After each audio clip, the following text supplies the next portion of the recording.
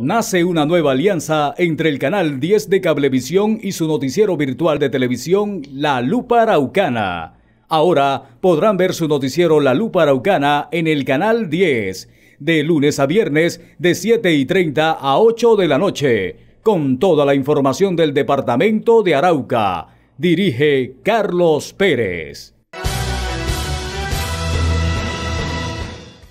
Los folcloristas del municipio de Arauca denuncian que la asesora de Cultura Departamental Marisol Padilla enterró a todos los folcloristas del municipio de Arauca. Los folcloristas del municipio de Arauca se encuentran inconformes por el trato que les da la asesora de Cultura del Departamento de Arauca, Marisol Padilla. Se están despifarrando los recursos en otras actividades. Solicitarle al señor gobernador y a la asesora de Cultura del Departamento debido a que los folcloristas nos miramos eh, en una realidad imposible de que nos tengan eh, en cuenta en los proyectos que se han venido desarrollando a través de la cultura.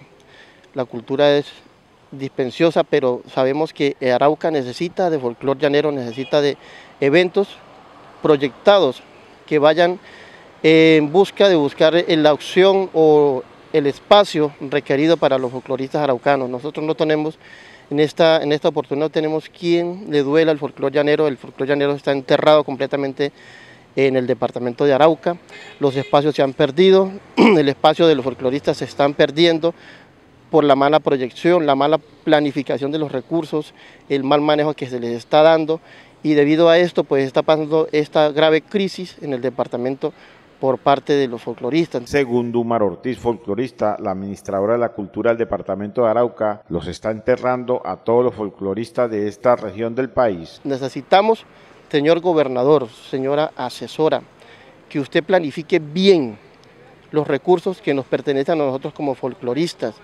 No es posible que ya la gente vaya a su despacho, señora asesora, y no nos tomen en cuenta para nada. Las propuestas que se les pasan a ustedes siempre las desvían para otros lugares con otras respuestas que no nos identifican a nosotros para poder seguir adelante. Por eso nosotros estamos requiriéndole a usted, que son los responsables de la cultura en Arauca, a que por favor tomen cartas en el asunto. Ya nosotros estamos cansados de que ustedes nos ultrajen, de que ustedes nos maltraten en, en la parte de nuestro folclore. Los folcloristas denunciaron que la mayoría de los eventos culturales los acabó Marisol Padilla. No es posible que aquí los eventos se acabaron, el apoyo se acabó a los eventos y por eso estamos requiriendo a los espacios, a los medios de comunicación, a las redes sociales, eh, haciendo el pronunciamiento de esto porque ya no es, no es posible que ustedes sigan maltratándonos a nosotros. No hay opción de trabajo, no hay nada debido también al problema de las fronteras que también ha venido haciéndonos daño a nosotros, en el, cual no, encontramos empleo, no encontramos eh, ocasión de poder presentarle una propuesta a ustedes porque todo lo desvían. Entonces, por favor, no entierren el folclore llanero, no lo sepulten.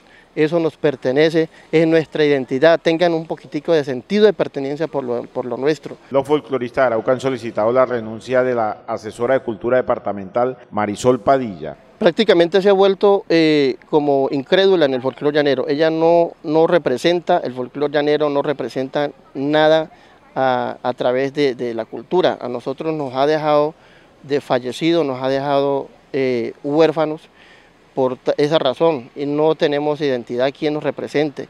Eh, hay una junta directiva de Azafol que en el cual pues es la que nos representa a nosotros, pero parece ser que están trabajando calladamente con la asesora y nosotros pues nos toca eh, pronunciarnos a través de, de, los medios para poder que nos tengan en cuenta. Ya viene el Día del Llanero, no se ha hecho posiblemente ni el proyecto, no sabemos dónde va eso vienen otros eh, festivales de, barrios, de, veredas, de celebraciones de, los barrios, por eso quiero invitar a los gestores culturales, a los cultores, a que se pronuncien también porque ellos también hacen parte de la cultura de nuestro, de nuestro municipio. Por último, algunos folcloristas denunciaron que la asociación de Azafol viene trabajando soterráneamente con la asesora de cultura departamental y por eso no denuncian las irregularidades.